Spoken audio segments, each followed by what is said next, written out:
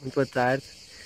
Eu saúdo-vos a todos com a gloriosa, maravilhosa, fantástica paz do nosso Senhor Jesus Cristo. É... Eu queria partilhar mais uma experiência, porque eu da outra vez filmei aqui um vídeo no Cristo Rei e eu estava aqui e até tinha falado que Jesus também orava no Monte das Oliveiras e tal. Eu estava aqui quando estava assim, olha, aqui a falar com o pai, e quando eu começo a olhar à minha volta, vejo uma oliveira. E depois eu deparo-me com mais oliveiras. Depois não é, é que não é só uma, não são só duas, não são só três. Vejam aqui outra, ali outra. Isto é cheio de oliveiras. E eu fiquei assim, uau! Parece que dava aquela sensaçãozinha, né? De estar em Israel. Estou a brincar.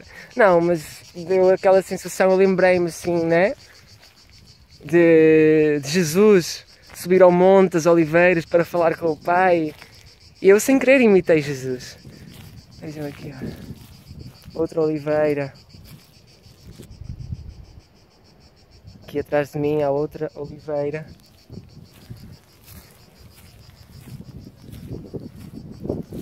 Aqui atrás de mim há outra oliveira.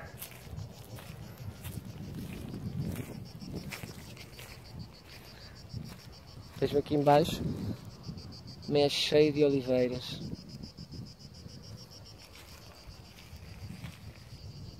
aqui atrás de mim outra oliveira.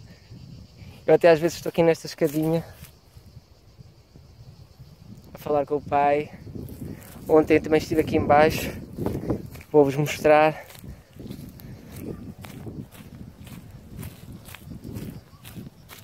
Aqui ó, outra oliveira. Olha, aqui vê-se bem o Cristo Rei atrás de nós.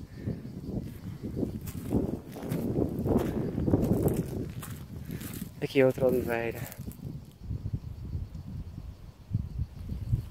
É aqui que eu tenho passado momentos maravilhosos com o Senhor queria até, não vou entrar em detalhes, mas queria até dar um pequeno testemunho de que tenho falado com o Senhor aqui e sem mentira nenhuma, assuntos que eu, entre mim e o Pai, que eu tenho as minhas dúvidas, os meus pedidos de oração e eu peço ao Senhor que me responda, peço ao Senhor que confirme. E Ele tem falado comigo aqui no Monte das Oliveiras. Na verdade, este monte chama-se o Monte do Calvário, pertence aqui a esta igreja de Miranda do Corvo. Só que é tanta oliveira aqui e é o, o meu ponto favorito de oração aqui que eu renomeei este monte e eu mesmo chamo, costumo dizer que vou ao Monte das Oliveiras. Qualquer coisa, eu digo ao meu pai, à minha avó que eu estou no Monte das Oliveiras porque porque o Senhor diz imitai-vos. Imitai-me quero eu dizer. Pois vocês sois meus seguidores. Então imitai-me porque quem está em mim e eu nele está no Pai. E da mesma forma como nosso Senhor imitava o Pai e fazia o que o pai lhe guiava a fazer. Assim, eu também quero fazer. Assim, às vezes até fazemos sem querer, né? Guiados pelo Espírito Santo. Eu não digo que seja obrigatório uma pessoa orar no monte, que Deus escuta melhor no monte, ou assim, ou assado, mas eu acredito que estar aqui é fantástico falar com o pai aqui no meio do vento, ao sabor do vento, no meio das oliveiras, das árvores, do ar puro. É tão agradável, é tão satisfatório.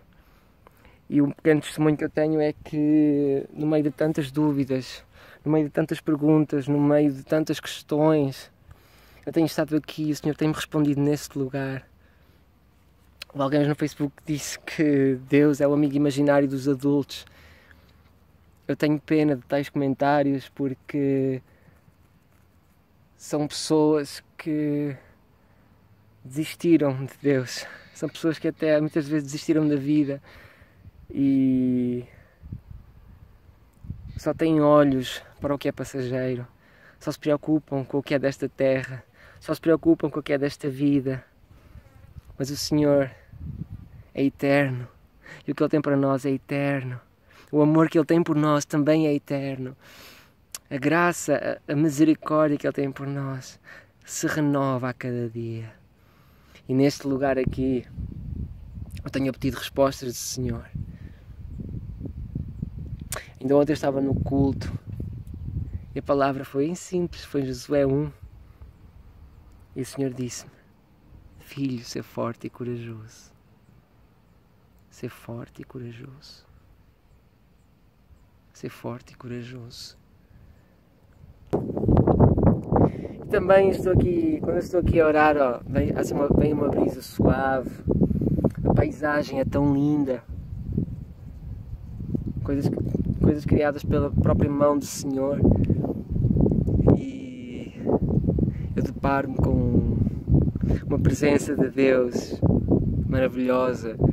O Senhor faz-se presente e realmente Deus é invisível. As pessoas querem. Este século pede coisas visíveis, este século pede um Deus visível. Mas nós precisamos entender que quando nós amamos, que quando nós nos entregamos à fé, que quando nós caminhamos pela fé, que Deus se torna visível através de nós. Eu acho engraçado que as pessoas às vezes nem acreditam em Deus, mas vem um filme de terror. Vem como, por exemplo, um demónio precisa, como um espírito maligno precisa de um corpo de uma pessoa para se manifestar. E nisso às vezes as pessoas já acreditam.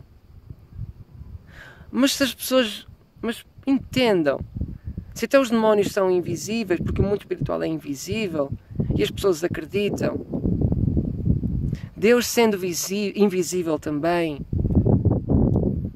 graças a Jesus Cristo, graças ao que Ele fez na cruz do Calvário, nós podemos receber o Seu Espírito, que é também invisível. Não se pode comparar ao Reino das Trevas, porque ele não tem parte do Reino das Trevas. O Espírito Santo do Senhor é maravilhoso, é do Reino da Luz. Mas, eh, mas o mundo espiritual precisa do mundo material para se manifestar. E o Espírito Santo é invisível, mas ele precisa de nós para manifestar o reino dos céus através de nós. Não dê lugar ao medo, não dê lugar à dúvida. Caminhar pela fé é pisar um chão invisível. A palavra diz em Hebreus 11 que fé é a firme certeza daquilo que não vemos. Mas vejam, é a firme certeza.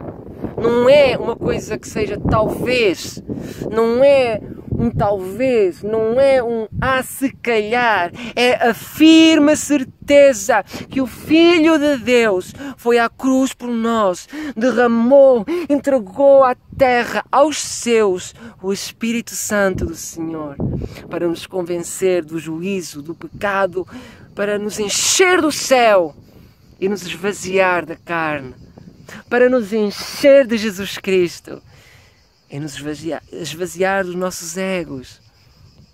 A fé é um caminho invisível, mas muito real. E aqui no Monte das Oliveiras eu tenho tido experiências com Deus, experiências de fé. E eu não tenho palavras para agradecer ao nosso Senhor Jesus Cristo, as coisas que Ele tem feito comigo aqui, as coisas que Ele tem falado comigo aqui, que eu não vou partilhar aqui agora mas digo-vos, tinha perguntas e eu obtive respostas neste lugar. Eu tinha aqui um vídeo pendente no outro dia e eu vi, uma, vi a pregação aqui e, e Deus falou comigo através de um pregador que estava a pregar ao vivo. Ele teve uma hora até que teve uma hora até que apontou para, para, para, para a câmara e ele começou a falar com a pessoa que estava do outro lado da tela E até pode ter falado com outras pessoas, mas aquilo, naquele preciso momento ele estava a falar comigo. E Deus começou a falar comigo, aqui no Monte das Oliveiras. Tal e qual o Pai falava com Jesus, também no Monte das Oliveiras, em Israel.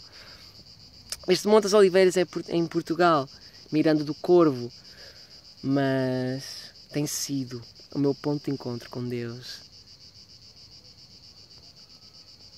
Eu desejo-vos uma fantástica tarde, manhã, noite, independente de onde você está, mas quero lhe dizer: se você já está em Cristo Jesus e passa por momentos difíceis, não sabe o que decidir, não sabe o que fazer, eu só posso lhe dizer: tenha uma comunhão com o Espírito Santo e aceite caminhar pela fé Aceite o caminho invisível que é a fé. Aceite a fé. E mais, Jesus diz: Se eu estiver em vós e vós em mim, pedi ao Pai e ser-vos-á dado. Batei e abrir-se-vos-á. Pedi e dar-se-vos-á. E para encerrar, o mais importante é amar o Senhor acima de todas as coisas e amar o próximo como a nós mesmos. E busque o reino dos céus e ponha-o em primeiro lugar e verá como Deus suprirá todas as suas necessidades. Verá como todo o resto lhe será acrescentado na sua vida. Porque é isso mais importante. Estamos na terra como cristãos, mas não somos mais desta terra. Temos um Pai no céu, temos uma casa no céu que nos espera. Este país, por exemplo, já é muito bonito. Imagine o reino dos céus, porque é muito mais bonito. E lá é perfeito, é eterno.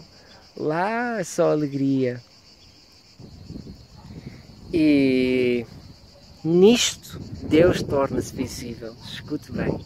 Nisto, Jesus Cristo torna-se visível. Ele diz isto em João 13. Ele diz aos seus discípulos: Se vos amardes uns aos outros, conhecerá o mundo que eu estou em vós. Ou seja, o amor torna Jesus visível. Vivemos num mundo em que o amor se esfria, em que o amor está a acabar. Mas nós não estamos no mesmo espírito que o mundo. Nós temos o Espírito Santo do Senhor, que é perfeito, que é um espírito de fé, um espírito de paz e principalmente um espírito de amor. Um amor celestial. Se nós amarmos com este amor, se nós estivermos neste amor que vem do céu, que vem do Pai, neste amor perfeito que recebemos através do Espírito Santo, Ainda que haja alguém que diga que Deus é um amigo imaginário, através deste amor, Deus torna-se visível. Jesus torna-se visível. E a sua fé também se torna visível e vai inspirar muitos outros a seguirem Jesus como você o segue. Seja muito abençoado pelo poder que é no nome e no sangue de Jesus. E se você ainda não entregou sua vida a Cristo Jesus, eu desafio, faça isso. Não é uma religião. Deus deu o seu um filho unigênito para criar uma nova família, para ser pai. Pai, porque Ele é o Pai, o Criador de todas as coisas.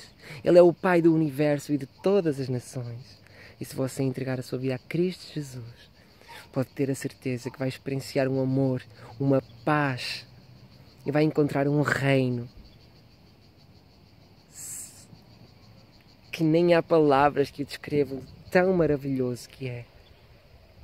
Aceite este amor, aceite esta paz, esta paz, aceite este reino e verá, prometo-lhe, garanto-lhe que será muito mais que feliz. Uma rica tarde, um rico dia, um rico tempo na paz do Senhor Jesus Cristo. Tenha uma boa tarde Ciao.